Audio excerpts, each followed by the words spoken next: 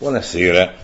Dunque siamo ormai vicinissimi al voto, con stasera finisce la campagna elettorale, domani giorno di riflessione e poi domenica e lunedì si va a votare. Vi daremo nei notiziari ancora le informazioni su uh, tecniche, su come votare, gli orari e tutto, dove si vota nella provincia di Pistoia. Sono oltre al capoluogo, sono diversi comuni nella provincia di Pistoia Dunque, io prima cosa che intendo dire, credo, sono convinto che si debba andare a votare. Vedete, si può avere tutto lo schifo della politica, come si usa dire. In questi giorni ci sono dei tribuni che fanno a chi la spara più grossa. Qualcosa, c'è stato qualcosa di offensivo anche alla sensibilità degli italiani. Il governo in qualche modo peggio della mafia eh, la mafia chiede il pizzo, ma il governo uccide. No. Sono cose terribili fare questi accostamenti e credo che chi fa queste affermazioni debba essere cancellato. Io lo dico al di là delle idee politiche e di tutto. Non si questa, non si possono fare questi accostamenti, qui siamo alla degenerazione della politica. Oltre a queste punte di eccellenze negative, poi ci sono altre espressioni anche analoghe di eh, aggressività paurosa, di una politica contro. Eh, io credo che questa mh, deve essere eliminata dal nostro orizzonte di votanti, lo dico con tutta la tranquillità del mondo. E bisogna andare a votare, proprio perché in qualche modo in questo difficile cammino della democrazia che è difficile come la vita personale di ognuno, attraverso alti e bassi, fortune e sfortune, eh, virtù e vizi di ciascuno di noi.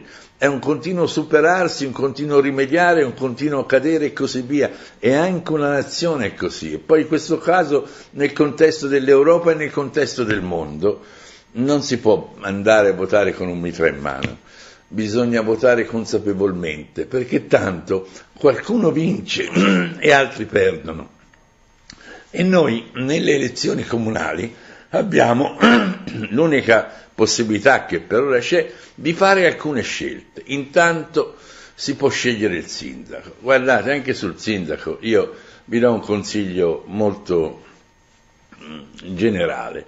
Bisogna scegliere chi avete sentito che non ha fatto promesse a caso. C'è qualcuno che ha promesso tutto. Mancherebbe da dire che vi rifarebbe la casa, a ciascuno, a tutti i pistoiesi riaccomodo anche le case. Il problema bisogna domandarsi, sì, ma i soldi dove li hai? Eh, quando tu andrai a fare il sindaco, dove li trovi i soldi? Eh, e questo basterebbe per smontare tantissime delle eh, promesse che sono state fatte. Invece qualcuno ha cercato di motivare anche le spese che andrà a fare. Andare a fare il sindaco, guardate, è una cosa seria, è una cosa pesante, è una cosa da non dormirci la notte. E da una parte chi ci vuole andare, eh, se lo fa coscientemente, è in qualche modo da applaudire. Eh, qualcuno credo che lo faccia troppo alla leggera per una questione di potere, ma se noi si dà il voto a questi, noi finiamo per pagarli noi le conseguenze di chi va a fare il sindaco alla leggera, perché anche per le città è un momento delicato, o c'è la comunità che tira perché si ritrova, perché si sente unita e va avanti, con tutti i difetti che tutti abbiamo, oppure se c'è delle leggere che sono a guidare, che vanno là per una questione di potere spesso anche personale, allora eh, eh, sono guai. E allora io dico, dopo aver scelto il sindaco con questa consapevolezza e con questa ragione, una persona che vi sembra seria, scegliete chi vi è sembrato serio, sia che lo pensiate in termini di centrodestra che in termini di centrosinistra.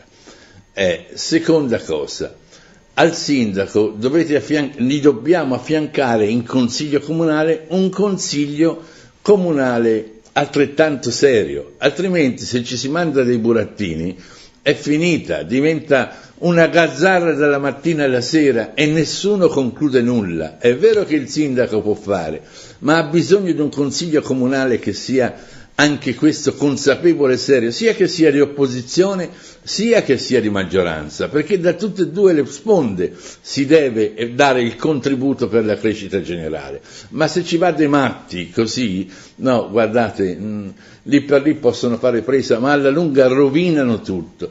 E allora, siccome avete la possibilità di scegliere fra tante liste, dopo aver votato il sindaco, mettete insieme al sindaco delle persone che voi conoscete perché sono serie, perché nella vita hanno realizzato qualcosa, perché si sono dati da fare, perché non hanno fatto chiacchiere, ma sono stati al pezzo, perché conoscono la vita, la vostra vita.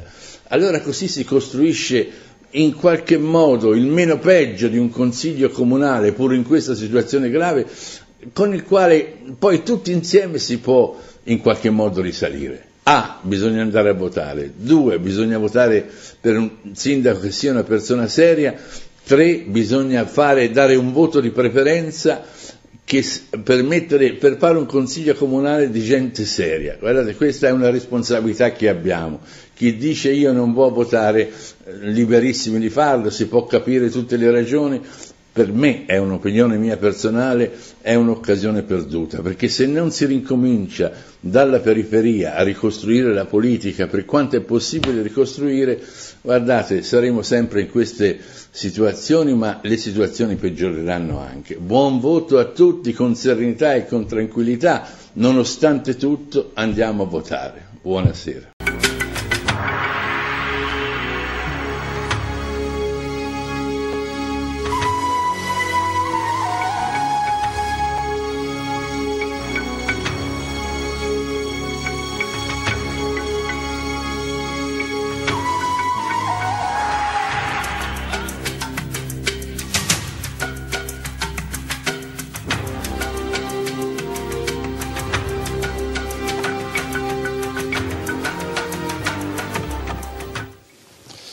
Buonasera, è doveroso fare un, po' una valutazione tutti insieme di, state, eh, di, quelli che sono stati i risultati elettorali nella nostra città e un po' nella nostra provincia.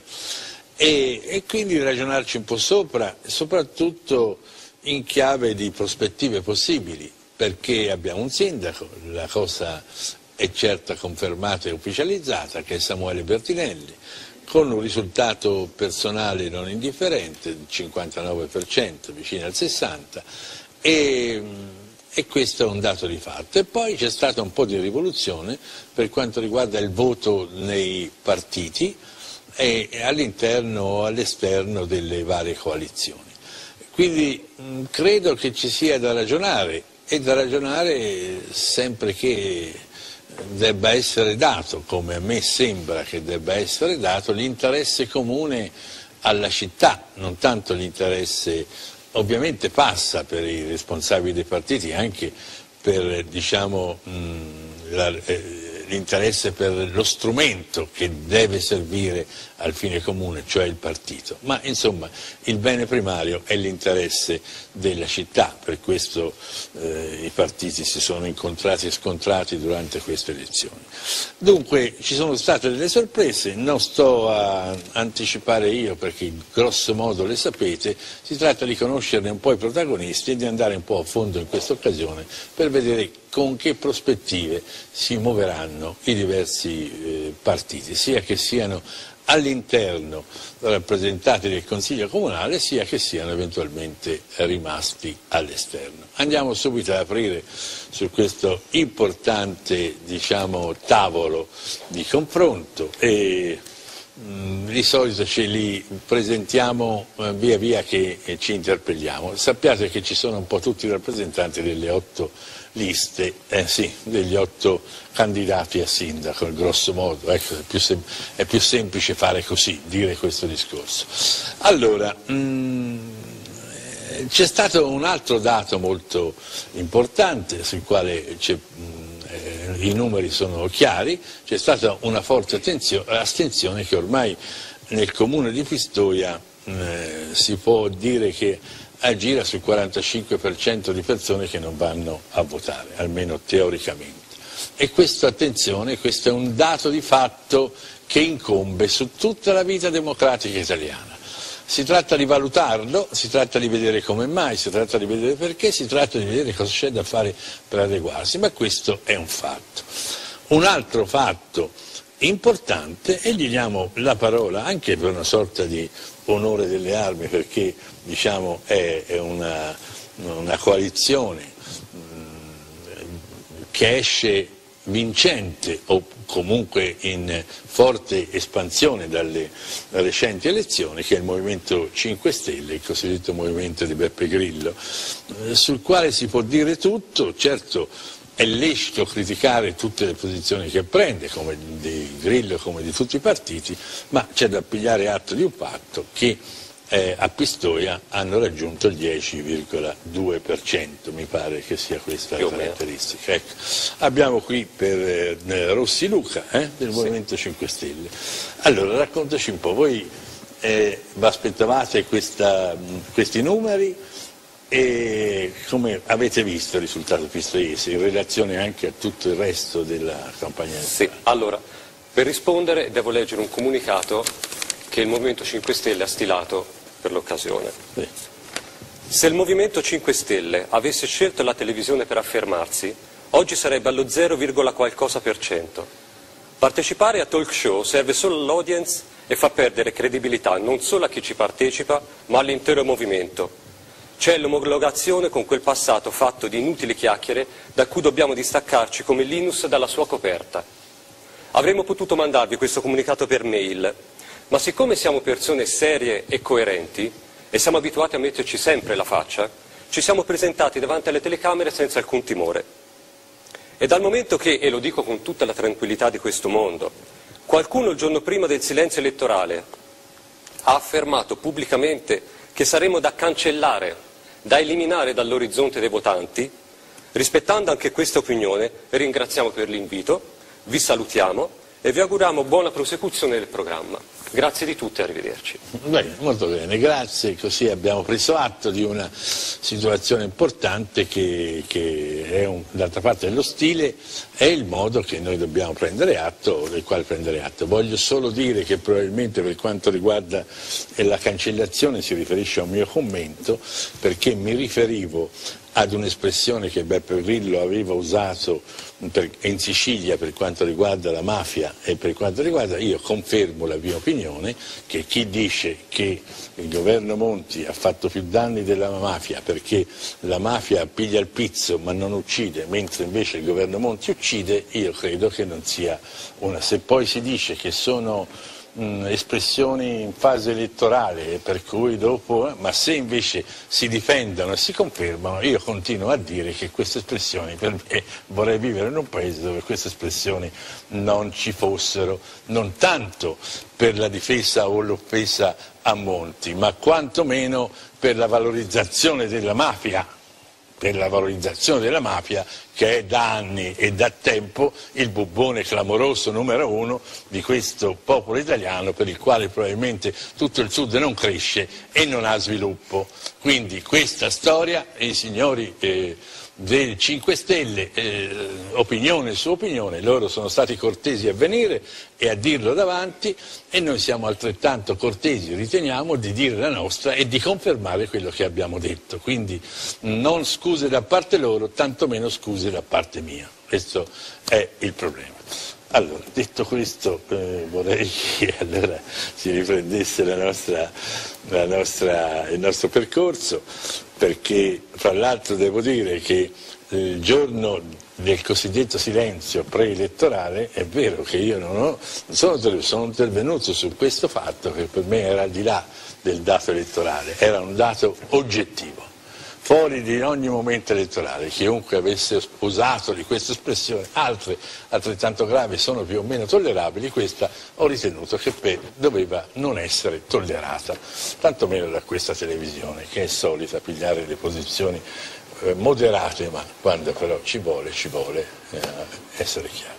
Bene, allora invece eh, nonostante non si sia potuto fare omaggio al successo di Grillo, invece il PD esce da